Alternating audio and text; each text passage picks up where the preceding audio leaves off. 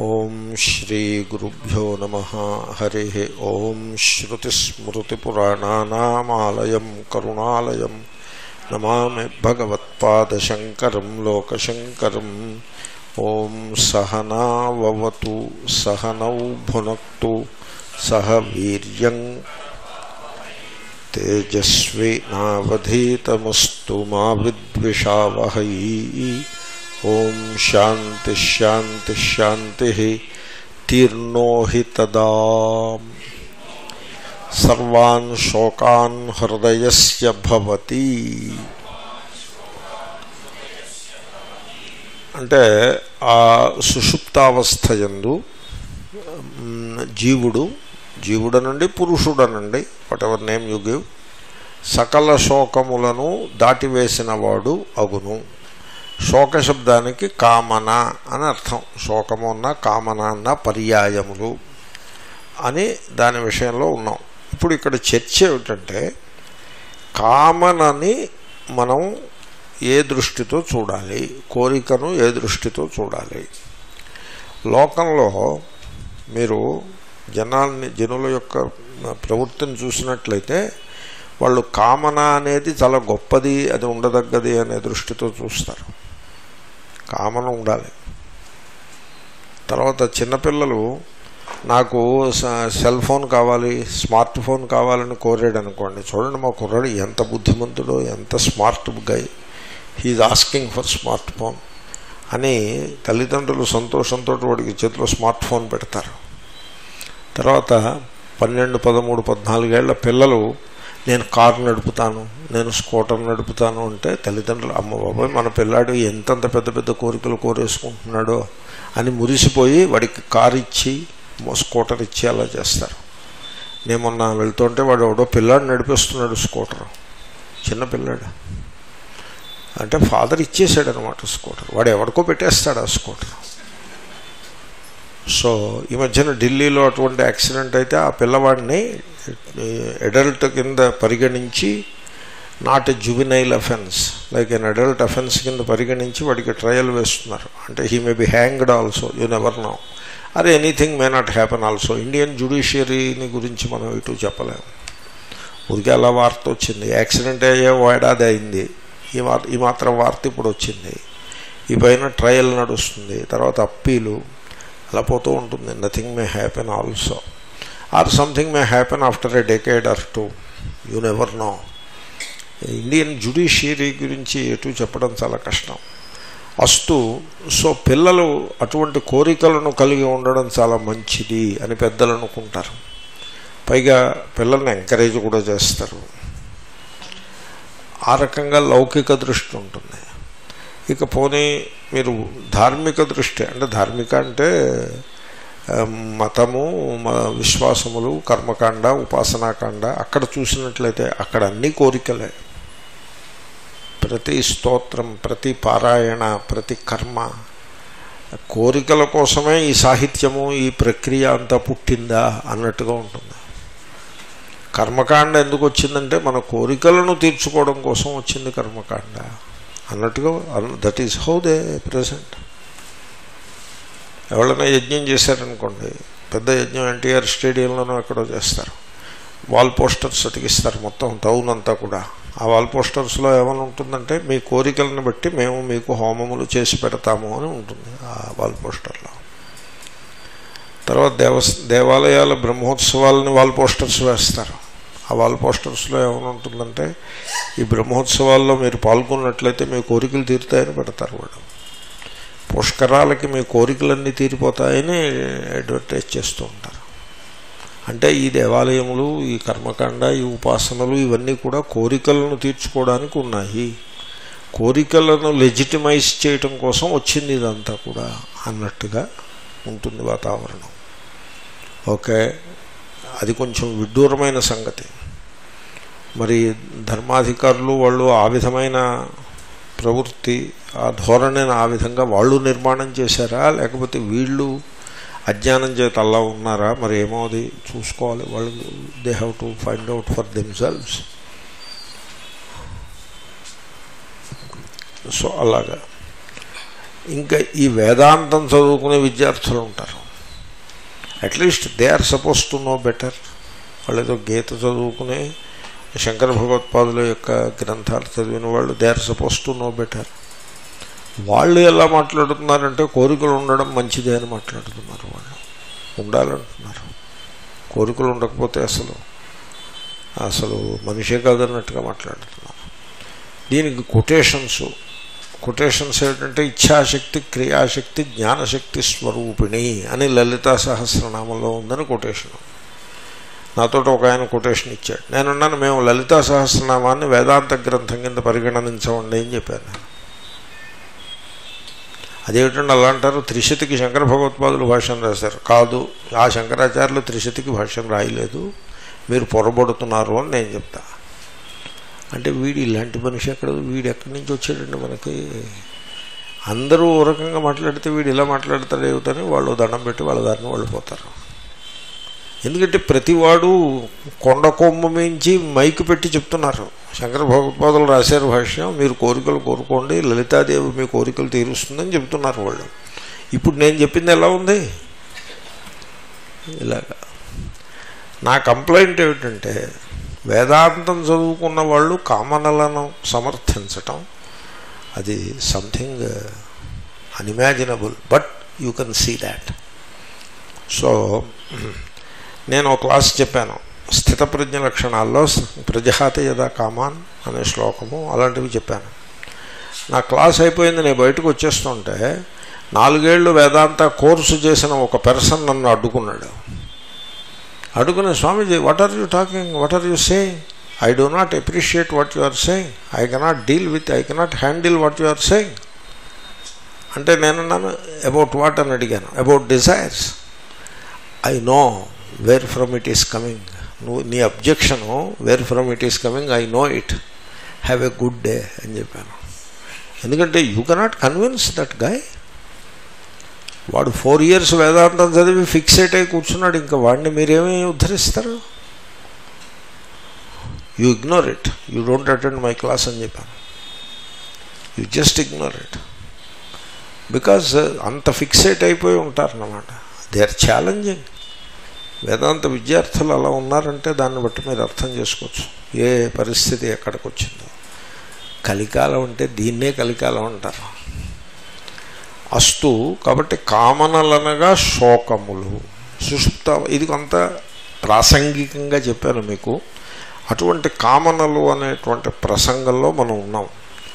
So అంటే ఆత్మకామ అంటే కూడా కామన అవుతుంది కదా. అంటే అబ్బాయి అది వదలేవయ్యా వ్యతిరిక్త కామాభావార్థత్వా తస్యా ఆత్మకామ అన్నప్పుడు ఆ కామశబ్దానికి మామూలుగా మీరు విడిచిపెట్టాలి అని చెప్పే కామన అనే అర్థం చెప్పొద్దు. కామనలను విడిచిపెట్టాలి అని చెప్పినప్పుడు కామన అనేది వ్యతిరిక్త వ్యతిరిక్త కామ. అంటే ఆత్మ కంటే భిన్నమైన అనాత్మయందలి కామన. దాన్ని కామన అంటారు. ఆత్మకాముడు అంటే ఆత్మ అనే ఓ ముద్ద ఒకటి ఉంది దాని మీద కోరిక పెట్టేసి కూర్చున్నాడని కాదు. ఆత్మ కంటే వ్యతిరిక్తమైన అనాత్మ వస్తువుల ఎందు కామనలు లేవు అని అభిప్రాయం. దానికి అర్థం అది వ్యతిరిక్త కామ అభావము దానికి అర్థము. తర్వాత దాని అంటే మళ్ళీ వైశేషికులు తార్కికులు పెద్ద పెద్ద పండితులు వాళ్ళు కామనలని సపోర్ట్ చేస్తున్నారు కదా అని. అంటే ఇది ఎలా ఉంటుందంటే ఈ మధ్యకాలంలో జరిగే సపోజ్ సత్సంగంలో ఒకడు నన్ను అడుగుతాడు. ఏమిటా నువ్వు కామనలు అక్కర్లేదంటావు? ఆ స్వామీజీ కామనలు కావాలన్నారు. ఆ స్వామీజీ కామనలు ఉండాలని పుస్తకంలో కూడా రాశారు. నువ్వేమిటి అక్కర్లేదంటావు? అని అది పూర్వపక్షం. అలాంటి పూర్వపక్షం ఇది. వైశేషికులు మొదలైన వాళ్ళు తర్వాత తంత్రములు ఏవో తంత్రములు ఉంటాయి. సో దశమహావిద్యలు అంటాడు. ఏమిటో ఉన్న ఒక విద్య చాలదు మహావిద్య పది మహావిద్యలు. పది ఎందుకు పది ఎందుకు? ఒకటే బరువు అయిపోతుంటే. సంథింగ్ లైక్ దాట్ దశ మహావిద్యలు అంటాడు. అంటే నామరూపాల యొక్క విస్తారం ఉంటుంది. సో అలాంటి తంత్రాల్లో కూడా కామనలను సపోర్టుగా మాట్లాడతారు. తర్వాత లోకదృష్టి కూడా కామనలకు అనుకూలంగా ఉంటుంది. నిజానికి నేను చూశాను. ఓ మహాత్ముడిని ఒక పెద్ద ఆయన అడిగాడు. కామనలు లేకుండా బతకడం ఎలాగా అని అడిగాడు. అంటే ఆయన చెప్పారు చూడు బతకడానికి వెచ్చములు సీరియల్స్ అండ్ పల్సెస్ కూరలు పళ్ళు ఉండాలి తప్ప కామనలు కాదు కావాల్సిందని చెప్పాడు ఆయన. ఎంత బాగా చెప్పాడు మీకు బతకడానికి ఏం కావాలండి? కామనలు కావాలా? లేకపోతే భోజనం కావాలా? కపడా రోటీ కపడా మకాన్ ఉండాలా? కామనలు కావాలా? రోటీ కపడా మకాన్ ఉండాలి. ఆ పైన కామనలు కూడా ఉంటే ఈ రోటీ కపడా మకాన్ ఉన్నదాని ప్రయోజనం కూడా మీకు దక్కదు. అవి అడ్డుపడతాయి. కాబట్టి అలా అవకతవక పూర్వపక్షాలని మనం అనుకోకూడదు కూడా. అస్తు కాబట్టి వైశేషికాదులు తంత్రములు న్యాయము ఉన్నాయి. ఇవన్నీ ఏమని చెప్తున్నాయి? కామనలు ఆత్మయందు ఉంటాయి అని చెప్తున్నాయి. ఇప్పుడు ఇక్కడ చర్చ ఏమిటంటే కామనలు ఆత్మయందు ఉంటాయా అనాత్మయందు ఉంటాయా ఇప్పుడు మీరు ఇక్కడ కూర్చుని ఉండగానే మీ ఎందు రెండు లెవెల్స్ ఉంటాయి. ప్రకృతి పురుషుడు. ఈ కామనలు పురుషునికిలో అంతర్గతంగా ఉన్నాయి ఉన్నాయి అన్నట్లయితే వాటికి ఒక స్టేటస్ వస్తుంది. అవి పురుషుడిలో అంతర్గతము కాదు ప్రకృతి ఎందున్నవి అని చెప్పినట్లయితే వాటికి ఒక otherness otherness they are they other they are not you అనే ఒక వివేకం వస్తుంది. ఆ వివేకము వలన మీరు కామనలని దూరంగా పెట్టగలుగుతారు. ఒక ఫ్రీడమ్ మీకు వచ్చేస్తుంది. You become free you get a lever a leverage against the desires అందుకోసమని కామనలు అనేవి ఆత్మస్వరూపంలో భాగము కాదు అని మనం చెప్తున్నాం అంటే వైశేషికులు యుక్తియుక్తంగా చూసిన అంటే యుక్తి అంటే లోక లౌకికమైన యుక్తులు చూసిన వైశేషికులు మొదలైన వాళ్ళు చెప్పిన మాటలు ఈ తంత్రాల్లో చెప్పే మాటలు చూసినట్లయితే మీకు ఏమనిపిస్తుంది ఆత్మ కామాదులకు కామక్రోధములకు ఆశ్రయము అనిపిస్తుంది. ఇప్పుడు చూడండి నేను మీకు చెప్తా దృష్టాంతం. జాగ్రత్త అవస్థలో శబ్దస్పర్శ రూపరసగంధాదులను తెలిసేది మనస్సులో వచ్చే వికారములనన్నింటినీ తెలిసేది నీ స్వరూపము. స్వప్నంలో అక్కడుండే శబ్దాదులను తెలిసేది అక్కడుండే మనస్సు యొక్క కదలికను తెలిసేది నీ స్వరూపము. సుషుప్తి ఎందు సర్వము యొక్క అభావమును తెలిసేది ఆనంద స్థితిని తెలిసేది నీ స్వరూపము. ఇప్పుడు దీన్ని బట్టి మీ స్వరూపం ఏమని అర్థమైంది మీకు?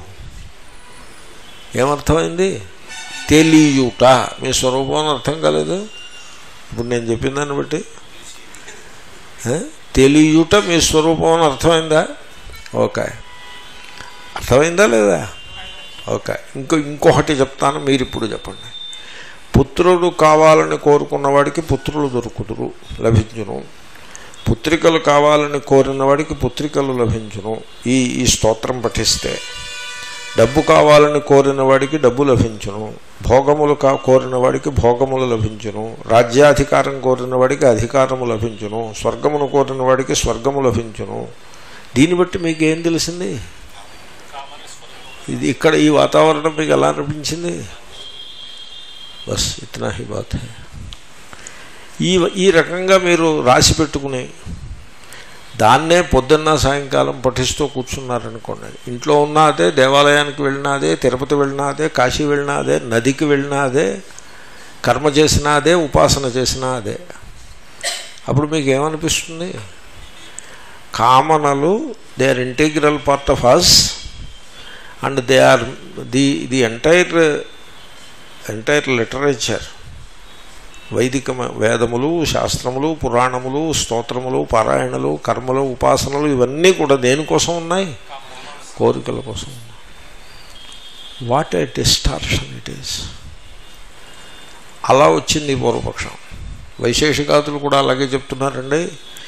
వాళ్ళందరూ ఆత్మయందే ఉంటాయి కామనలని చెప్తున్నారు. మీరు ఒక్కళ్ళు వచ్చి వాళ్ళ తలకిందులుగా చెప్తున్నారే అని పూర్వపక్షం. ఇది చేన్నా హృదిశ్రితా. ఇత్యాది విశేష శృతి విరోధాత్ తప్పండి కామనలు ఆత్మయందు ఆశ్రయించి ఉంటాయి అనే మాట తప్పు. ఎందుకంటే హృది శ్రుత అని పని కట్టుకునే శృతి విశేష శృతి. అంటే కామనల గురించి ఇన్ పర్టికులర్గా వాటి ఆశ్రయమును నిర్దేశించి చెప్తోంది. కామనలకి విశేషణం. హృది అనే సప్తమే విభక్తి కామనలకు విశేషణము. లేకపోతే హృదిశ్రితాహ అనే ఎక్స్ప్రెషను కామనలకు విశేషణం. మామూలుగా కామనల్ని విదిలిపెట్టు అంటే సరిపడుతుంది కదా? అలా అనకుండా హృదిశ్రితాహ అనే విశేషణాన్ని పనిగట్టుకుని వేయబట్టి ఆ విధమైన శృతి విశేష శృతి అంటారు. పనిగట్టుకు చెప్పిన శృతికి విశేష శృతి అని పేరు. అటువంటి విశేష శృతికి విరోధం వస్తోంది. ఈ వైశేషికాది తంత్రముల యొక్క అభిప్రాయం. కాబట్టి అది అంగీకారము కాదు. మరైతే కామనల విషయంలో శృతి చెప్పిన మాటను మనం ఎప్పుడైతే పరిగణనలోకి తీసుకుంటామో అప్పుడు ఈ వైశేషికాది తంత్రములకు వాటికి గతి ఏమిటి? మనం చూసాం కదా స్మృత్యనవకాశ దోష ప్రసంగ అని. వాటిని ఏం చేయమంటారు? వైశేషికాదిని కణాదులు చెప్పాడు. ఈ స్తోత్రాన్ని ఫలానా ఋషి రాశాడు. ఆ స్- ఆ కర్మ ఫలానా పురాణం నుంచి వచ్చింది. ఆ- పెద్ద ఆయన చేయిస్తున్నాడు ఈ కర్మ. మరి వీటినన్నింటినీ ఏం చేయాలి? అదిగో ఇగ్నోర్ చేయాలి. అనపేక్ష్యాహతా వైశేషికాది తంత్రోపత్తయ వైశేషికము మొదలైనటువంటి శాస్త్రాలలో వాళ్ళు యుక్తులు చెప్తారు. అనేక యుక్తులు చెప్పి ఆ యుక్తులను బట్టి ఆత్మయందు కామనలు ఆశ్రయించి ఉంటాయేను నిరూపించే ప్రయత్నాన్ని చేస్తారు. వాళ్ళు చెప్పే యుక్తులను మీరేం చేయాలంటే అవి పరిగణించదగినవి కావు అనపేక్ష్యములు వాటిని మీరు పట్టించుకోవద్దు. అవి తప్పు యుక్తులు. అంటే మరి యుక్తియుక్తంగా ఉండాలి కదా మనం. వాళ్ళు యుక్తులు చెప్తుంటే మనం పట్టించుకోకపోతే ఎలాగా? అంటారేమో శృతి విరోధే న్యాయాభాసత్వోపగమాత్. ఇది నేను చెప్పుంటాను బహుశా మంచిది. ఎక్కడైనా సరే శృతికి విరుద్ధంగా కనుక ఈ వైశేషికాదులు చెప్పినట్లయితే వాళ్ళు ఎంత లాజికల్గా చెప్పినప్పటికీ ఆ లాజిక్ అంతా కూడా రాంగ్ లాజిక్ తప్ప రైట్ లాజిక్ కాదది. న్యాయాభాష హేత్వాభాష వంటిదే తప్ప యథార్థమైన హేతువు కాదని తెలుసుకోండి. తర్వాత కామనలు హృదయంలో ఆశ్రయించి ఉంటాయి అనడానికి బదులుగా కామనలు ఆత్మను ఆశ్రయించి ఉంటాయి అని మీరు అన్నట్లయితే మరో పెద్ద దోషము కలదు. స్వయం జ్యోతిష్వ బాధనాచ ఆత్మ స్వయం ప్రకాశము స్వయం జ్యోతి అని మనం చెప్పుకుంటూ వస్తున్నాం. అసలు ఈ మొత్తం టెక్స్ట్ అంతా అందుకోసమే వచ్చింది బ్రాహ్మణం. ఆ సిద్ధాంతానికి కూడా ముప్పు వచ్చును. అది ఎలాగంటే కామాదీనాంచ స్వప్నే కేవల దృశ్యమాత్ర విషయత్వాత్ స్వయం జ్యోతిష్వం సిద్ధం స్థితం చ బాధ్యత. ఇప్పుడు కామము క్రోధము ఇత్యాదులు మీకు స్వప్నంలో కనపడుతున్నాయి. అవి ఏ విధంగా మీకు అనుభవానికి వస్తున్నాయి అంటే కేవల దృశ్యమాత్ర విషయత్వాత్. మీ స్వరూపము కేవల దృక్ చైతన్యం. సాక్షి దృక్ అంటే సాక్షి. దృషి అంటే వెర్బ్ యొక్క మీనింగ్ ఇక్ నిర్దేశం. దృష్ దాని నిర్దేశం దృషి. అంటే సీయింగ్ విట్నెసింగ్. అటువంటి ఏ సాక్ష్య చైతన్యము కలదో దాంట్లో విషయములుగా ఈ కామాదులు స్వప్నంలో మనకి అనుభవానికి వస్తున్నాయి. మీరు మొన్నటి పొద్దున్న లేచి అంటారు నిన్న నాకు కళ వచ్చిందండి ఆ కళలో ఫలానా కోపం వచ్చింది ఫలానా కోరిక కలిగింది అని చెప్తారు. అంటే అర్థం ఏంటి? ఆ కళ ఎడల మీరు సాక్షిగా ఉన్నారని ఆ సాక్షి అయిన మీకు కామాదులు విషయములుగా తెలియబడినవి అని స్పష్టమవుతోంది. అటువంటిప్పుడు కామాదులకు ఆత్మ ఆశ్రయత్వం పొసగదు. ఆత్మ స్వయం ప్రకాశమని కామాదులు ఆత్మ చైతన్యముచే ప్రకాశింపజేయబడేవి అని సిద్ధించింది. ఇప్పుడు మీరు కనుక కామాదులు ఆత్మయందు ఉన్నవి అని చెప్పినట్లయితే అవి ప్రకాశించకూడదు.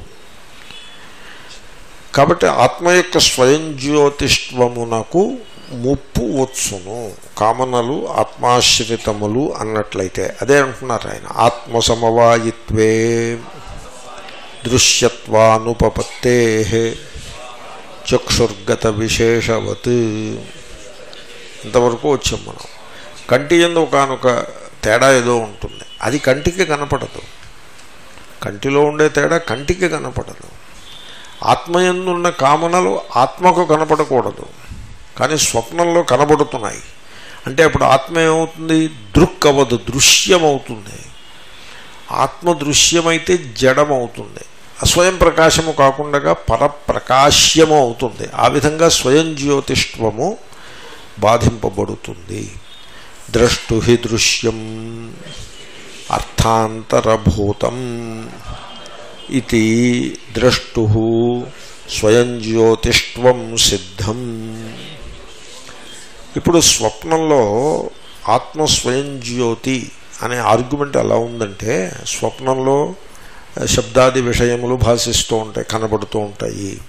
ఆ విషయముల ఎడల కామనలు కూడా ప్రకటమవుతాయి అవి కూడా తెలుస్తూ ఉంటాయి. వీటినన్నిటినీ ప్రకాశింపజేస్తూ వెలుగుతో చైతన్యము గలదు అని మనం ఆ విధంగా ఆత్మస్వయం జ్యోతి అని మనం నిరూపించినాము. ఇప్పుడు ఏమైంది ఈ కామనలన్నీ ఆత్మాశ్రితములు అని మీరు స్వీకరించినట్లయితే ఆత్మ పరప్రకాశ్యమవుతుంది. ప్రకాశ్యమవుతుంది. ఎందుకంటే కామన ప్రకాశిస్తోంది అంటే కామనకు ఆశ్రయమైన ఆత్మ కూడా ప్రకాశించినట్టే. ఇంకొక వెలుగులో ఇది ప్రకాశించినట్టు తేలుతుంది. అప్పుడు ఆత్మ యొక్క స్వయం జ్యోతిష్వమునకు భంగము కలుగును. తద్బాధితం సత్ ఇది కామాశ్ కామాద్యాశ్రయత్వం. పరికల్ప్యేత. కాబట్టి ఆత్మస్వరూపమే కామక్రోధాదులకు ఆశ్రయము అని మీరు కల్పించినట్లయితే ఆత్మస్వయంజ్యోతి జ్యోతి అని మనం చేసిన నిర్ణయానికి ముప్పు వచ్చును. అది తగని మాట. ఇంకొక హేతు సర్వశాస్త్రార్థ విప్రతిషేధాచ. సకల శాస్త్రము చెప్పిన సకల శాస్త్రములని కాదు శాస్త్రము చెప్పిన సకల విషయములు ఏవైతే గలవో వాటికి విరోధం వస్తుంది. శాస్త్రం అంటే వేదము. వేదము అంటే ప్రస్తుతంలో వేదాంతము ఉపనిషత్తు. ఇది ఇది చెప్పేటువంటి అనేక విషయములు ఏవైతే ఉన్నాయో వాటన్నిటికీ కూడా విరోధం వస్తుంది. ఇది ఆత్మ కామాదులకు ఆశ్రయము అని మీరు చెప్పినట్లయితే.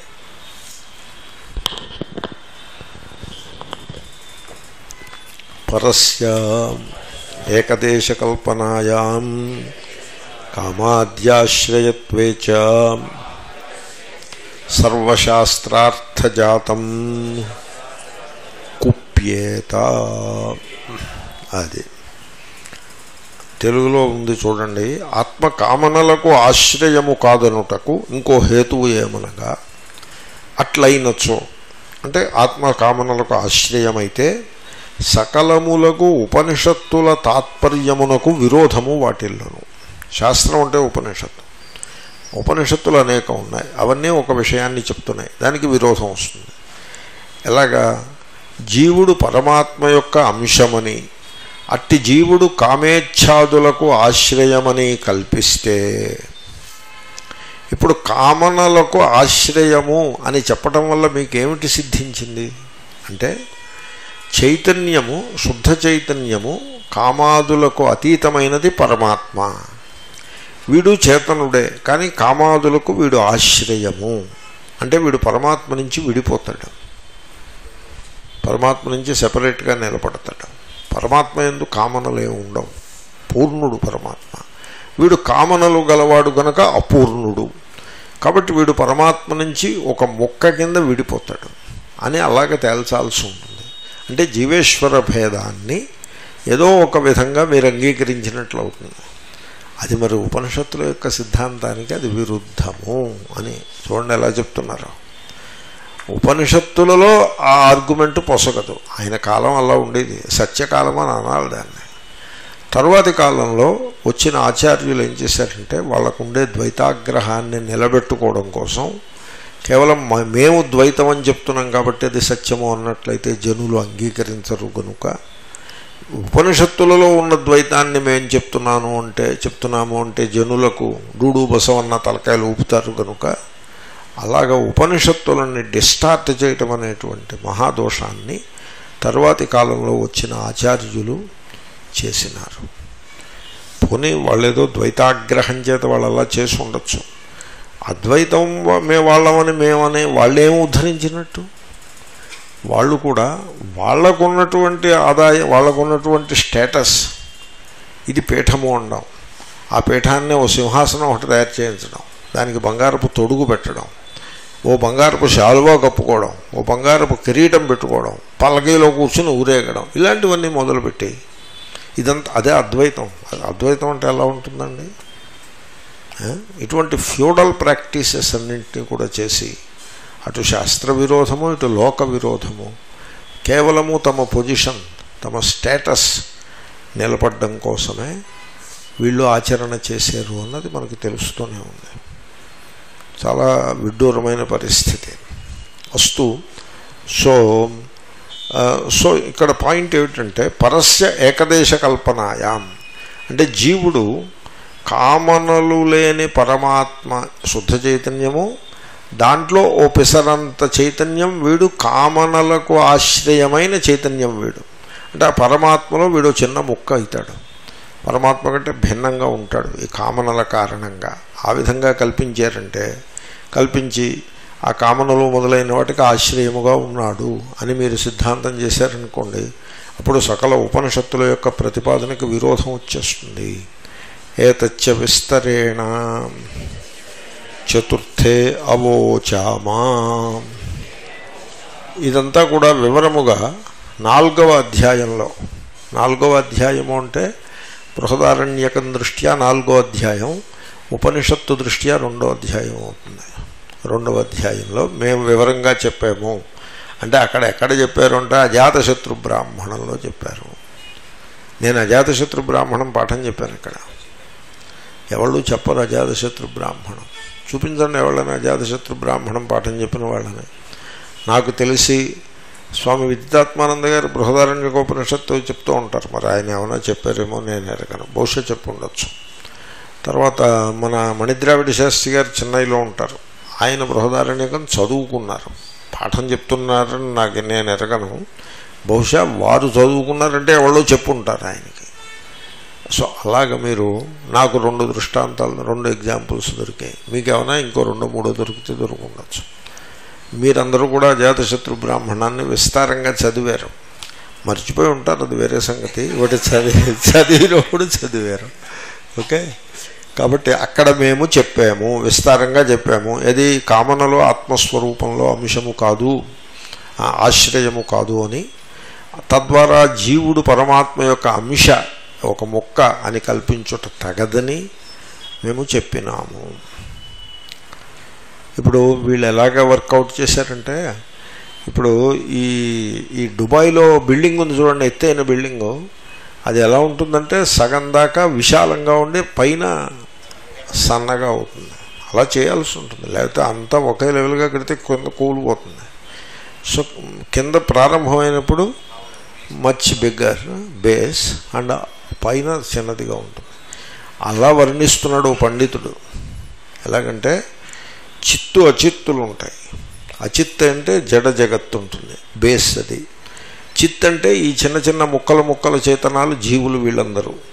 కాబట్టి ఈ జడములు అయిన పదార్థములు అంటే జగత్తు సత్యం కదా ఇదంతా. తర్వాత ఈ చిన్న చిన్న కోరికలు పెట్టుకుని ఉన్న జీవులు వీళ్ళందరూ కూడా బేస్. చిదచిద్ విశిష్ట. అలా బేస్ పైకి పట్టుకొచ్చి అక్కడ పరమాత్మ విష్ణువును లక్ష్మీదేవి ఉంటారు. అలా పైకి పట్టుకొచ్చి అక్కడ అద్వైతం ఆ పైన ఉంటుంది అని చెప్తున్నాడు. మళ్ళీ లక్ష్మీదేవి అంటే కూడా అద్వైతం ఉండదు కదా ఇద్దరు అయ్యారు కదా. అది ఇంకా అలా కొంత దూరం వెళ్ళి ఇంకా పైన లక్ష్మీదేవి కూడా విష్ణువులో కలిసిపోతే అప్పుడు ఆయన ఒక్కడు ఉంటాడు అది అద్వైతం. దీన్ని ఏమనంటారు దీన్ని? ఇది విశిష్ట అద్వైతం. ఎంత బాగుందో అలా. అలా చెప్తున్నారు ఒక పండితుడు. He was saying like that ఆ చుట్టూ ఎవరున్నారా అని చూశాను. ఇంకో ఐదుగురు ఉన్నారు చుట్టూ. వాళ్ళందరూ చప్పట్లు కొడుతున్నారు. మరి ఇంకా చప్పట్లు కొట్టకపోతే ఏం చేస్తారు? ఇదంతా కలికాలం యొక్క ప్రభావం అలా ఉంటుంది. మహతా హి ప్రయత్నేనా కామాద్యాశ్రయత్వకల్పనా ప్రతిషేధవ్యా ఆత్మన పరేణ ఏకత్వశాస్త్రార్థసిద్ధయే. ఈ వాక్యం చాలా గొప్ప వాక్యం. నేను కూడా ఊహించలేదు. నాకు నేను ఇవన్నీ కంఠస్థం కాదు కదా నాకు. Stunning sentence unexpectedly amazing sentence నా కళ్ళ ముందు కనపడుతుంది. ఆయన ఏమంటున్నారంటే నీ గోల్ ఏమిటో చెప్పు. ఆత్మన పరేణ ఏకత్వ సిద్ధి ఏకత్వ శాస్త్రార్థం సిద్ధించాలా అక్కర్లేదా నీకు? ఆత్మ అంటే నువ్వు నీకు పరమాత్మతో ఏకత్వము అదే శాస్త్రార్థము అంటే ఉపనిషత్ తాత్పర్యం అదే అది నీకు సిద్ధించాలా అక్కర్లేదా చెప్పు నువ్వు? అవి మాకు అక్కర్లేదంటే సరే గాడ్ బ్లెస్ యూ మరి వెళ్ళి రావాయా? హీజ్ ఆస్కింగ్ యూ అది సిద్ధించాలా? అక్కర్లేదు. ఆత్మన పరేణ ఏకత్వ శాస్త్రార్థ సిద్ధయే. ఆత్మ అంటే నువ్వు పరేణ పరమాత్మతో ఏకత్వం. అదే శాస్త్రార్థం. అది సిద్ధించాలా? అక్కర్లేదా? సిద్ధించాలి అన్నట్లయితే నీవు ఒక పని పెద్ద ప్రయత్నం చేసి నువ్వు పని చేయాలి. అదేమిటంటే ఆత్మయందు కామక్రోధాదులు లేవు అని నీవు తెలుసుకోవాలి. ఆ పని చేయాలి నువ్వు. ఎందుకంటే ఆత్మయందు కామన పెట్టేవంటే నువ్వు సెపరేట్ అయిపోతావు పరమాత్మ నుండి పరమాత్మ ఎందు కామన ఉండదు. ఆత్మయందు క్రోధము ఉన్నది అని పెట్టేవంటే నువ్వు వేరు పరమాత్మ వేరు. మాకు అదే కావాలంటే ఇంకా మనం ఏం చేయమని చెప్తాం? అలా కాకుండా ఏకత్వమే నీకు కావాలనుకుంటే నువ్వు ప్రయత్నపూర్వ మహతా ప్రయత్నేనా? నువ్వు పెద్ద ప్రయత్నం చేసి కామక్రోధాదులకు ఆత్మ ఆశ్రయము అనే కల్పనలు ఏవైతే గలవో వాటినన్నిటినీ నీవు నిషేధించాల్సి ఉంటుంది అని రాశారు. తెలుగులో ఏమని రాసామంటే కామనలు రాగద్వేషములు మొదలగు వాటికి ఆత్మ ఆశ్రయము ఇత్యాది కల్పనలను పెద్ద ప్రయత్నముతో అంటే ఏమిటి పెద్ద ప్రయత్నం అంటే ఏమిటి? మరల మరల అని అర్థం. పెద్ద ప్రయత్నం అంటే పెద్ద పెద్ద దొంగ ఒకటి తీసుకొచ్చి పుష్ చేస్తారా ఏమి? అంటే గెయిన్ అండి గెయిన్ అని అర్థం. నిరాకరించి ఆత్మకు పరబ్రహ్మతో ఐక్యము అనే ఉపనిషత్తుల తాత్పర్యమును నిలబెట్టవలసి ఉన్నది అని రాశారు ఆయన. తత్కల్పనాయాం పునఃక్రియమాణాయాం శాస్త్రార్థ ఏవా బాధిత సత్ మీరు మళ్ళీ ఇంత ప్రయత్నం చేసి ఇంత దూరం వచ్చాక మళ్ళీ మీరు దాన్ని కల్పిస్తే దాన్ని అంటే ఏమిటి? ఆత్మ కామాదులకు ఆశ్రయము అని మీరు కల్పిస్తే ఏమవుతుందో అలా చే అలా కల్పించుకుంటూ ఉంటే ఉపనిషత్తుల యొక్క తాత్పర్యాన్నే మీరు త్రోసిపుచ్చినట్లవుతుంది. యథా ఇచ్చాదీనాం ఆత్మధర్మత్వం కల్పయంత వైశేషికా నైయాయికాశ్చ ఉపనిషచ్ఛాస్త్రార్థేన నసంగచ్చంతే నేను అసలు ఒక ప్రశ్న వేశాను ఓసారి. కాకినాడలోనో రాజమండ్రిలోనో ఓ ప్రశ్న వేశాను. మీరు ఉపనిషత్ భాష్యాలు ప్రస్థానత్రయ భాష్యములు అంటారు. వాటిని మీరు ప్రేమగా శ్రద్ధగా చదివేరా అనే పండితుల్ని ప్రశ్న వేశాను. అంటే చదివాం. మరి చదివితే మీరు ఇంకా తర్కశాస్త్రాన్ని అంత ప్రేమగా ఎలా చదవగలుగుతున్నారు? ఇప్పుడు ఒక స్వామి పది మంది విద్యార్థులను కూర్చోబెట్టి తర్కశాస్త్రం పాఠం చెప్తున్నాడు అంటే ఆయన వేదాంతమును చదివేరా లేదా? చదివి ఉన్నట్లయితే ఆయనకున్నంత ప్రేమ ఆయనకున్న ప్రేమ శ్రద్ధ ఎట్టిది? అని ప్రశ్నించాలా అక్కర్లేదా? ఖండ్యముగా చదవాలి. మా నాన్నగారు అనేవారు. ఖండ్యముగా చదవాలి. అంటే ఇప్పుడు ఇప్పుడు చదువుతున్నాం. ఎలా చదువుతున్నాం? పూర్వపక్షము అని హెడింగ్ పెట్టి అక్కడ వైశేషికుల యొక్క అభిప్రాయాన్ని చెప్పి వెంటనే సిద్ధాంతంలో దాన్ని ఖండించి పాఠం అయ్యేప్పటికీ పూర్వపక్షంతో ఎండ్ చేయకూడదు అని నియమాన్ని పెట్టుకుని ఈవేళ పూర్వపక్షంతో ఎండ్ చేసి మళ్ళీ మళ్ళీ సోమవారం నాడు సిద్ధాంతం అంటే ఈవేళ వచ్చినవాడు మళ్ళీ సోమవారం రారు అని ఇంత జాగ్రత్తగా ఖండ్యముగా చదవాలి కానీ అసలు ఉపనిషత్తులు ఏం పక్కన పెట్టేసి ప్రస్థానత్రయాలు మనకు అక్కర్లేదన్నట్టుగా అవి తర్వాత చూద్దామనో పక్కన పెట్టేసి తర్కశాస్త్ర శక్తివాదము వ్యుత్పత్తివాదము పుస్తకాలు అవి అవి గులకరాళ్ళు నవ్వులుతున్నట్టుగా ఉంటుంది. గులకరాళ్ళు నవ పాషాణ పాకం. ద్రాక్షపండు ద్రాక్షపాకము నారికేళ పాకము కదలీ పాకము కదలీ పాకము పాకము కదలీ పాకము నారికేళ పాకము పాషాణ పాకమును. అంటే ఈ రా- రాళ్ళ ముక్కలు నోట్లో వేసుకుని నవిలితే అలా ఎంత టేస్ట్ ఉంటుందో అలా ఉంటుంది అది. అది పెట్టుకొని చదువుతూ ఉండడం అది- అది ఏమి శాస్త్రం అది? అమేజింగ్ ఎక్కడి నుంచి పట్టుకొచ్చారో ఈ స్కీము నాకు అర్థం కాదు. పైగా దానికి ఒక టైటిల్ పెట్టడం. ఏమని? అద్వైతానికి అది సాధనము అని. అద్వైతానికి ద్వైతం సాధనం అవుతుందా? సపరికర అద్వైత సభని పేరు పెట్టి దాంట్లో పరికరం అంటుంది అది పరి వ్యాకరణం పరికరం అవుతుంది తప్ప తర్కం పరికరం ఎలా అవుతుంది? తర్కం విరోధ శాస్త్రం పరికరం ఎలా అవుతుంది? అబ్బబ్బబ్బబ్బా. చాలా విరోధాలతోటి నిండి ఉంటుంది. సమాజం అలా ఉంటుంది. అంచేతనే సమాజంలో దూరేసి హడావిడి చేసేయకూడదు. మూల కూర్చుని జపం చేసుకోవడమో ధ్యానం చేసుకోవడమో చేయాలి. లేకపోతే విరోధాలన్నిటినీ పట్టించుకోవడం మానేసి ఏ చెట్టుకి ఏ ఏ ఎండకు ఆ గొడుగు పడుతో కాలక్షేపం చేయాలి. ఈ వాక్యం చూడండి మీరు. వైశేషికులు నైయాయికులు అని వాళ్ళు శాస్త్రాలు ఉన్నాయి వైశేషిక శాస్త్రం అంటే కణాద మహర్షి సూత్రాలు రాశాడు.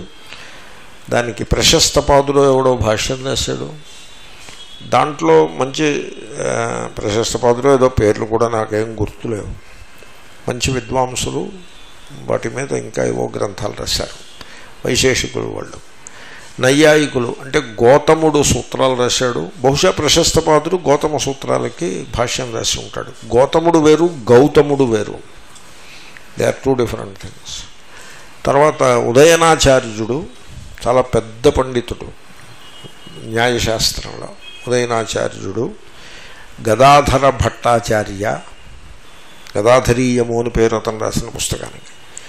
గంగేశోపాధ్యాయ ఆయన రాసిన పుస్తకాన్ని కూడా గంగేశోపాధ్యాయ పుస్తకం అనే అంటారు. ఏదో ఉంటుంది పుస్తకం.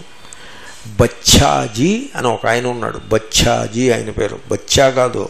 బచ్చా బచ్చా రామ్ హై బచ్చా కాదు. బచ్చా. బచ్చాజీ కూడా ఉంటుంది. బచ్చాజీ మొదలైనటువంటి రఘునాథ శిరోమణి. వీళ్ళందరూ కూడా నవద్వీప వ్యా తర్క పండితులు. ఈ మహాపండితులు వీళ్ళందరూ నైయాయికులు. వైశేషికులు నైయాయికులు వాళ్ళ గురించి శంకరాచార్యులు ఏమంటున్నారు శంకరాచార్యులు అంటే ఆయన దార్శనిక చక్రవర్తి. Is the emperor of all philosophers ఆయన ఏమంటున్నారంటే వీళ్ళు ఏం చేశారో తెలుసునండి వైశేషికులు నైయాయికులను. వీళ్ళు ఏం చేశారంటే ఆ జంటది. వైశేషికులు నైయాయికులు ఒక జంట. యోగము సాంఖ్యము ఇంకో జంట. పూర్వమీమాంస ఉత్తరమీమాంస మరో జంట. మూడు రోళ్ళు ఆరు. ఇవి ఆస్తిక దర్శనాలు అంటారు బౌద్ధము జైనము అదో జంట అవి నాస్తిక దర్శనములు అంటారు. ఇది ఊరికే పండితులు పెట్టుకున్న పేర్లు. ఎప్పుడైనా ఎవరైనా చెప్తే మీకు తెలుస్తుందని చెప్తున్నాను. కనుక ఈ వైశేషికులు నైయాయికులు ఏమన్నారంటే వాళ్ళ వాళ్ళన్న మాటనే కోట్ చేస్తున్నారు ఆయన. ఇచ్ఛా రాగ ద్వేష కామ సంకల్ప అని ఇలా పెద్దలు భయం భీతి భయము అని ఇలాగేవో ఓ ఓ పదిహేనో పదహారో చెప్పి ఇవన్నీ ఆత్మధర్మా అని చెప్పారు వాళ్ళు. చూడండి ఎలా ఉందో. సూత్రం. అని చెప్పారు వాళ్ళు. ఇవన్నీ ఆత్మధర్మములు ఆత్మధర్మత్వం కల్పయంత ఆ సూత్రాన్ని మనసులో పెట్టుకు చెప్తున్నారు ఆయన. ఇవన్నీ ఆత్మధర్మములను కల్పిస్తూ ఉంటారు వీళ్ళు. అంటే ఇప్పుడు ఆత్మ ఏమైపోయింది? నిర్గుణం కాదు. ఇవన్నీ ఆత్మలో ఉంటాయి అని కల్పించి పెట్టారు. అప్పుడు ఏమవుతుంది? ఆత్మ పరమాత్మ నుంచి సెపరేట్ అవుతుంది. పరమాత్మలో ఉండవు. తర్వాత ఆత్మ కూడా మల్టిపుల్ అవుతుంది. ఎందుకంటే ఒకటి కోరిక ఒకటి ఒకడు కారు కావాలని కోరుకుంటాడు ఇంకొకడు ఏమో స్వర్గం కావాలని కోరుతాడు. ఎవడి కోరికలు వాడివి? కోరికల్లో ఏకత్వం ఉండదు. కోరికల్లో ఏకత్వం ఉండదు. బంగారపు ఆభరణాలు కొనకూడదని భర్త అనుకుంటాడు. అవే కొనాలని భార్య అనుకుంటుంది. వీళ్ళిద్దరూ కలిసి కాపురం చేస్తూనే ఉంటారు. అయినా ఏకత్వం ఉండదు. ఏకత్వం ఉండదు అమేజింగ్ డిస్సెన్షన్స్ ఉంటాయి. కాబట్టి ఆత్మలన్నీ వేరే చిదచిద్ విశిష్ట పట్టుకోవాలి మీరు. ఈ ఆత్మలన్నీ లోవర్ లెవెల్లో ఉంటాయి. ఫస్ట్ లెవెల్ ఆఫ్ ఏముంటుంది? అచిత్ జడాలు ఉంటాయి. ఆ జడాల మీద ఈ జీవులందరూ ఉంటారు. వాళ్ళ పైన నిత్య సూర్యులందరూ ఉంటారు ఆళ్వార్లు వాళ్ళందరూ ఉంటారు. ఆ బురుజు ఆ బిల్డింగ్ లెవెల్ తగ్గుతూ ఉంటుంది చూడండి. అలా వర్ణించాడు పండితుడు. అలా అలా వెళ్ళగా మరీ సన్నబడిపోయి ఉంటుంది ఇంకా పైన వందో అంతస్తు దగ్గర. అక్కడ ఎవళ్ళు ఉంటారు? విష్ణువు లక్ష్మీదేవి ఉంటారు. ఇంకా పైకి వెళ్తే మరీ సన్నపడుతుంది అక్కడ అద్వైతం. కాబట్టి ఈ విశిష్ట వీటన్నిటితోటి కూడిన అద్వైతం. ఎంత బాగుందో చూడండి. అని పైగా ఎంత బాగుందో అని అవునండి అని అందరూ చప్పట్లు పడ్డాం అలాగా కాబట్టి ఆయన శంకర్లు ఏమంటున్నారంటే వీళ్ళు చెప్పే మాటలు ఏవి కూడా ఉపనిషత్తు బోధించే తత్వంతో వాటికి పోలిక సంబంధము లేదు. నా సంగచ్చంతే. వాటికి ఏమీ పోలిక లేదు. శంకరుల కాలంలో వాళ్ళే. శంకరుని కంటే ప్రాచీనులు కణాదుడు గౌతముడు వీళ్ళందరూ కూడా.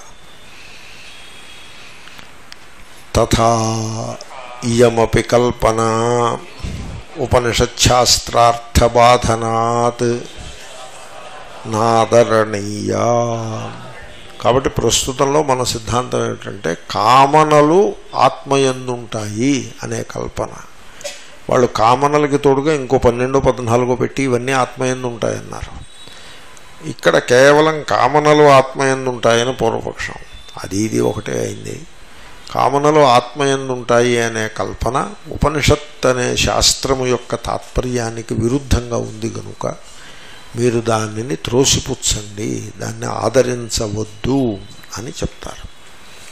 అమేజింగ్ సెంటెన్సెస్ నేను అడుగుతూ ఉంటా మీరు ఈ వాక్యాలు ఎక్కడైనా చూశారా? మీరు ఇవి చదివారా? అని అడుగుతా.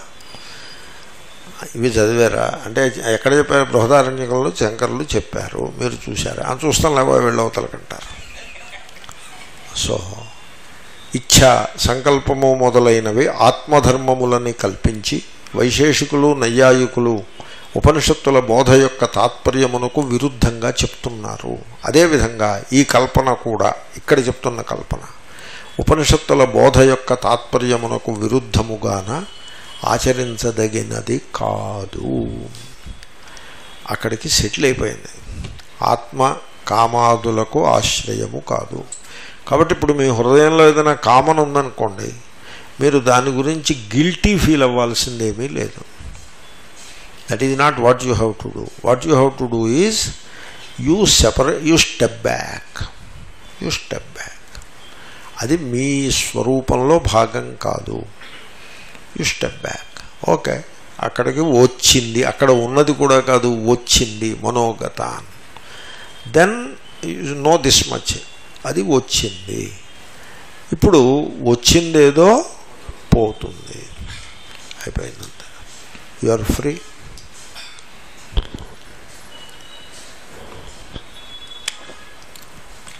తర్వాత మంత్రం ఒకసారి అందాము.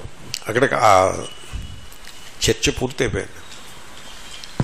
యద్వై తన్న పశ్యతి పశ్యన్వై తన్న పశ్యతి నహి ద్రష్టుర్దృష్టే విపరిలోపో విద్యతే.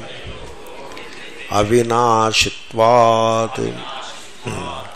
ఇప్పుడు నిద్రలో మీరు దేనిని చూచుట లేదు కదా? యద్వై తన్న పశ్యతి అంటే మీ చూపు లేకుండా పోయింది గనక చూచుట లేదా లేక చూడవలసినది ఏమీ లేదు కాబట్టి చూచుట లేదా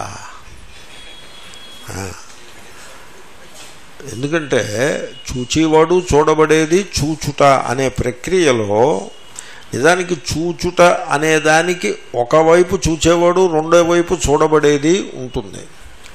చూచేవాడు ఉన్నంతసేపు చూడబడేది ఉంటుంది. చూడబడేది ఉన్నంతసేపు చూచేవాడు ఉంటాడు. ఆ సందర్భంలో చూచుట అనే ప్రక్రియ నడుస్తోంది అని మీకు అనుభవం కలుగుతుంది.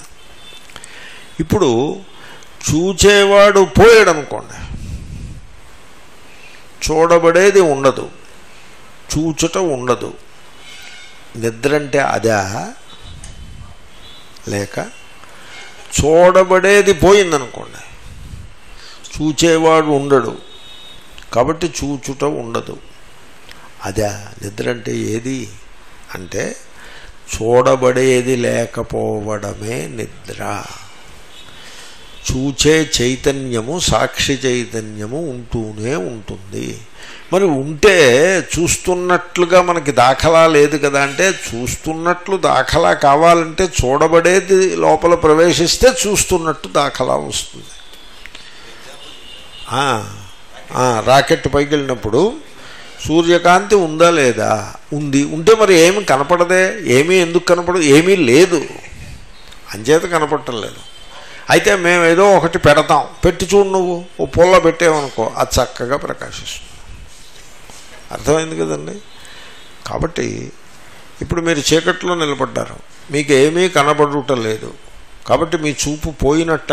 లేకపోతే చీకటిని చూస్తూ ఉన్నారు గనక మీకు చూపు ఉన్నట్లా. మీకు చూపు ఉన్నట్లే. చీకటిని చూస్తున్నారు కదా చూపు లేకపోతే చీకటిని ఎలా చూస్తారు? మీకు ఈ రహస్యం తెలుసా?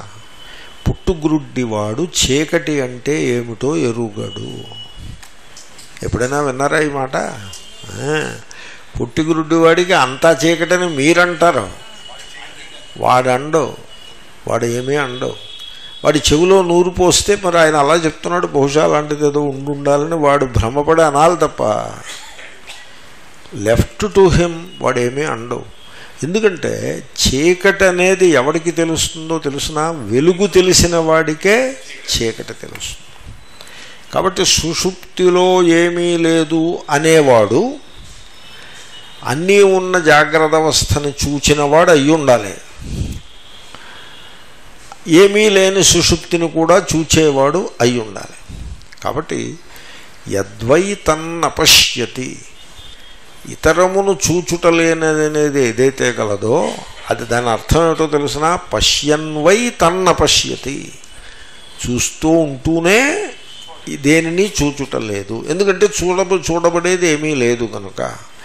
అలా ఎందుకంటే అదృక్చైతన్యం ఏది కలదో అసాక్షి చైతన్యం ఏది కలదో దాని యొక్క చూపుకి లుప్తమగుట లేకుండా పోవుట అనేది ఏది ఉండదు. ఎందుకో తెలుసిన? అది అవినాశి గనుక. ఇప్పుడు ఒకప్పుడు నేను నా కన్నుకి అద్దాలు అక్కర్లేకుండా దర్జాగా చూసేవాడిని. ఇప్పుడు అద్దాలు పెడితే ఓ మోస్తరుగా చూస్తున్నాను అనుకోండి సపోజ్. అప్పుడు ఈ దేనికి లోపం వచ్చింది? ఈ బాహ్యమైన కన్నుకు లోపం వచ్చింది తప్ప ఆ లోపల కన్నుకి లోపం రాలేదు. ఎందుకంటే ఆ లోపల కన్నుకి లోపం వచ్చిందనుకోండి ఇప్పుడు నా చూపు తగ్గింది అని తెలీదు. ఇప్పుడు నా చూపు తగ్గిందని ఎలా తెలుస్తుంది? తెలియదు మళ్ళా. కానీ తెలుస్తుంది. అంటే అర్థం ఏంటి? లోపలి చూపుకి ఏ లోపము లేదు. అది లోపించదు. నహి ద్రష్టుర్దృష్టేర్ విపరిలోపో విద్యతే. ఎందువలన? అవినాశిత్వాత్. ఈ వాక్యాన్ని పలు పర్యాయాలు భాష్యకారులు కోట్ చేస్తూ ఉంటారు. అందుకోసం జ్యోతిర్బ్రాహ్మణం చదివితే ఓహో ఇక్కడి నుంచి కోట్ చేశారా అని తెలుస్తుంది. దీనికి ఒక అవతారిక. అవతారిక ఇంట్రడ్యూస్ చేస్తుంది మంత్రాన్ని. స్త్రీ పుంసయోరివా. ఏకత్వాత్ న పశ్యతీత్యుక్తం స్వయం జ్యోతిరితి చ ఆత్మస్వరూపాన్ని గురించి చెప్తూ ఆత్మస్వయం జ్యోతి స్వయం ప్రకాశము మరైతే సుషుప్తిలో ప్రకాశించుట లేదెందువలన అంటే సుషుప్తిలో కూడా ప్రకాశిస్తోందిరా బాబు. మరైతే ప్రకాశిస్తుంటే ఏదీ కనపడట్లేదే. అంటే దానికోసం నువ్వు జాగ్రత్త అవస్థలో నీకు దృష్టాంతం చెప్తావు చూడు. జాగ్రత్త అవస్థ దృష్టాంతం చెప్పాలి. లేకపోతే ఇంకేం దృష్టాంతం చెప్తారు? ఇంకే ఇంకో దృష్టా ఒక ఆయన ఓ దృష్టాంతం చెప్పాడు. ఎలా దృష్టాంతం చెప్పాడో తెలుసిన? అర్జునుడు శ్రీకృష్ణుడు ఓసారి పాతాళలోకానికి వెళ్ళారు. పాతాళలోకం ఎక్కడ ఉంటుందో తెలిసిన? ఓ పెద్ద గొయ్యలోంచి లోపలికి వెళ్ళాలి. భూమి అడుగుల్లోకి పోవాలి. అక్కడ ఉంటుంది పాతాళలోకం మరి ఆ గొయ్యి ఎక్కడ ఉంటుంది? అది రహస్యంగా ఉంటుంది. ఎక్కడో ఉంటుంది. అక్కడ మన నల్లమల అడవుల్లోనో ఎక్కడో ఓ కొండ వెనకాల ఎవరికి కనపడకుండా ఒక గొయ్యి ఉంటుంది. ఒక హోల్ ఉంటుంది. బిలం.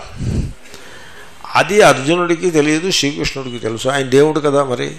కాబట్టి ఆయన రథాన్ని నడుపుకుంటూ ఆ బిలంలో ప్రవేశిస్తాడు.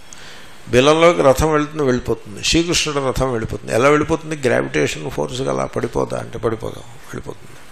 సరే పాతాళం ఇలాంటి ప్రశ్నలన్నీ అడగకూడదు. వీటిని పొల్ల పొల్ల చొప్పదంటు ప్రశ్నలోనో ఏదో అంటారు. దాంట్లోకి వెళ్ళిపోతున్నాడు. వెళ్ళిపోతుంటే ఇంతట్లోకి సడన్గా చీకటి వచ్చేసింది. ఎందుకంటే బిలంలో ఏముంటుంది? చీకటి ఉంటుంది.